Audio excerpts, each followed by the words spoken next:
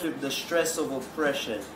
Elites change our views, status quo of television, so I guess I'm different. Cause I don't choose to walk in the light of urbanized religion.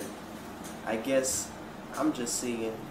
I give you promises of tomorrow when time is just a borrow intercourse of daily thoughts and the cum is hard to swallow. So if you are real, I won't have an act to follow. Speaking wisdom be the richest, but they talk like they got their job bro. I'm just saying.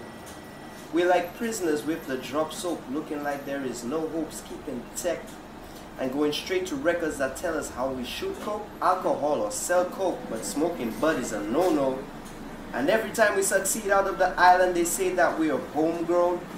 I'm just saying, this is bullshit.